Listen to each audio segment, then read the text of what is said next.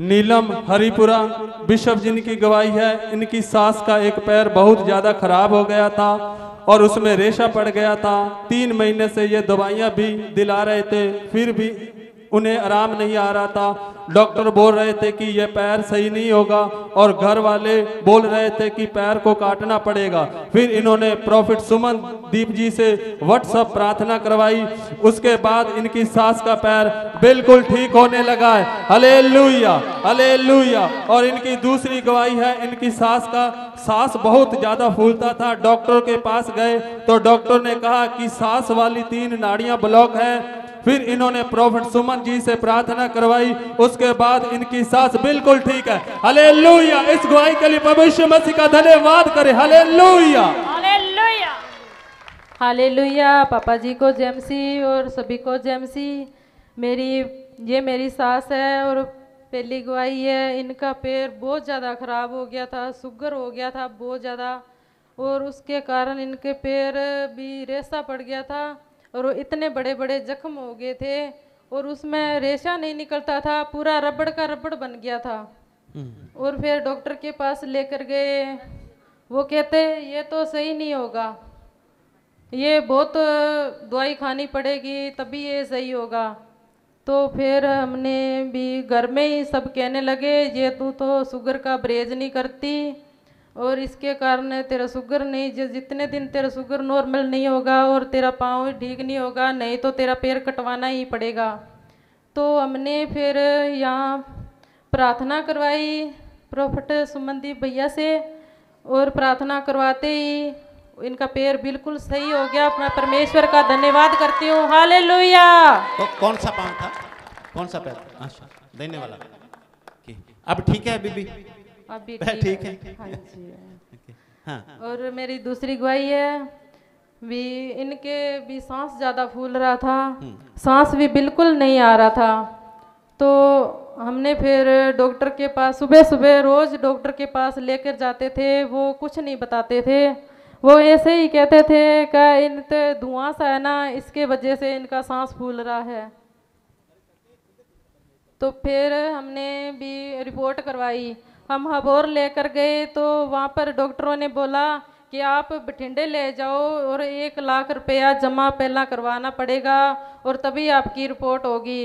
तो हम बठिंडे लेकर गए वहाँ पर वो कहते हैं इनकी सांस वाली तीन नाड़ी है वो तीनों ब्लॉक है। अच्छा। तीनों नाड़ियाँ ब्लॉक थी। तीन नाड़ियाँ ब्लॉक हैं? हाँ जी। तीन होती हैं नाड़ियाँ। हाँ जी। तो तीनों ब्लॉक हैं? तीनों ब्लॉक है। तो फिर वहाँ पर डॉक्टर कहते हैं ये तो बहुत रिस्क की बात है। अगर आप कहें तो इन्हें हाथ लगाएँ नहीं तो आप घर पर ले जाओ। हम्म, हम्म। तो फिर हम कोई गल नहीं फिर सब सहन करवा दे और कहते हैं भी चलो जे बचेगी तो ही हमारी है जे ना बचेगी तो ही हमारी है। तो फिर हमने घर पर फ़ोन किया भी आप रे टावर पर फ़ोन करो ता जो भी डॉक्टर ऐसे बोल रहे हैं भी इनके बचने से चांस नहीं है। तो फिर भैया जी ने प्रार्थना करी, सुम प्रफट सुमन दीप ने। तो ये इनका भी वो स्टेड भी पलवाए थे, दो नाड़ियाँ तो स्टेड भी डलवा दिए थे और एक जमा ही बरीक थी, उसमें तो नहीं।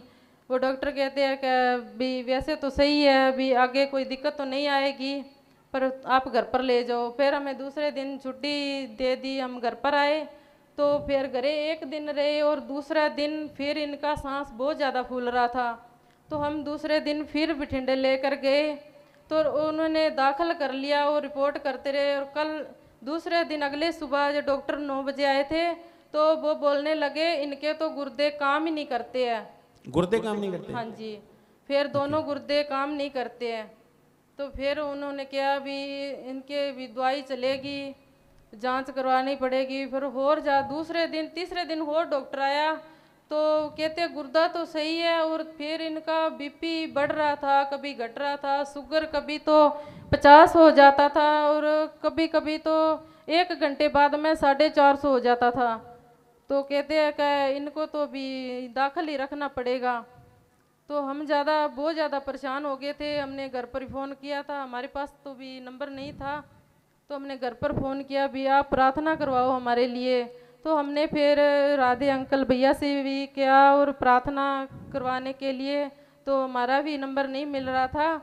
तो भैया जी ने आपको प्रार्थना के लिए बोला तो हमने फिर प्रार्थना करवाई और प्रार्थना करवाते ही हमें छुट्टी भी नहीं मिल रही थी तो वो छुट्टी भी दे दी हमें। मैं परमेश्वर का धन्यवाद करती हूँ और वो कहते हैं, अभी बिल्कुल सही है। और हम दूसरे संडे फिर लेकर गए और प्रार्थना भी रिपोर्ट करवाई और रिपोर्ट नॉर्मल आई। अच्छा रिपोर्ट नॉर्मल आई फिर। हाँ जी। परमेश्वर का धन्यवाद करते हैं। धन्यवाद। हालेलुया सो देखिए घर के लोग कहते थे इसका पैर ही काटना पड़ेगा नहीं तो। और उसको भी प्रभु यीशु मसीह ने चंगा किया। और जो बाकी रोग थे मिनट में तो कभी कहते भी एकदम पचास हो जाती थी एकदम शुगर कभी साढ़े चार सौ हो जाती थी। और बीपी एकदम बढ़ जाता था एकदम कम हो जाता था। एकदम बढ़ जाता और कभी कह रहे हैं कि इसके गुर्दे में प्रॉब्लम है लेकिन प्रभु यीशु मसीह जी की दया हुई और प्रभु यीशु मसीह जी ने चंगा किया।